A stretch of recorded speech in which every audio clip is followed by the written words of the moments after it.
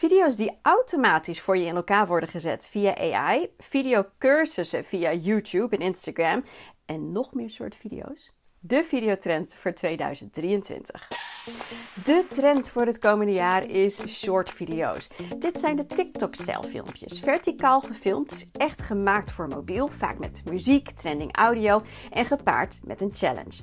Ook als bedrijf of organisatie kun je hierop inspelen door producten of behind the scenes te laten zien en kennis te delen. En hoewel we nu soms nog uren editen aan een filmpje van 15 seconden, gaan we telkens meer richting automatische videocreatie. Op Instagram kun je bijvoorbeeld al werken met templates. Dit zijn kant-en-klare schablonen waar je alleen nog maar je eigen clips aan toe hoeft te voegen en dan wordt het op de maat van de muziek voor jou geëdit.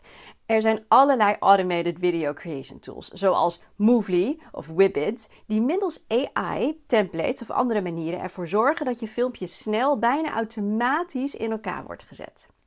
En nu we het toch hebben over Instagram en TikTok, moeten we het eigenlijk ook hebben over BeReal.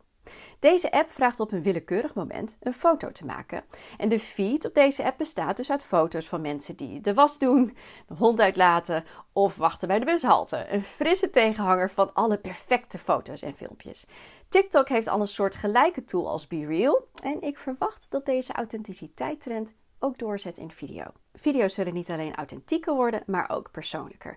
Zo denk ik dat er meer video's persoonlijk op maat gemaakt worden. Dat je dus bijvoorbeeld een filmpje krijgt waarin ook echt je voornaam te lezen of zelfs te horen is. En dan zul jij misschien denken, ja, dan moet ik wel heel veel persoonlijke video's en verschillende namen gaan opnemen.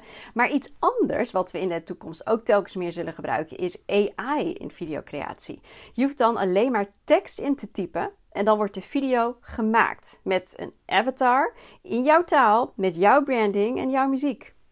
Eentje die ook echt niet kan ontbreken aan deze trends is live verkoop. Live shopping middels videostreaming. Deze trend die vanuit Azië dit jaar meer doorgebroken is op bijvoorbeeld Amazon in Amerika, verwacht ik komend jaar ook meer en meer te zien in Nederland.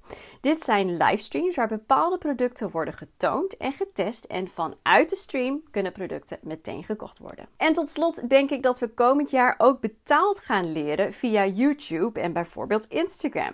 Op Instagram kun je al extra content aanbieden tegen een maandelijks abonnement.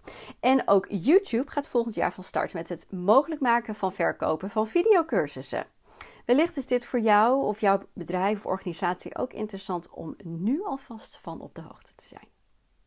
Zo, zeven videotrends die ik verwacht in 2023. Maar ik ben natuurlijk benieuwd wat jouw gedachten zijn. Wat voor trends voorzie jij? Wat zou jij willen toevoegen aan dit lijstje? Ik hoor het graag. Laat dus zeker een reactie achter. En tot de volgende video.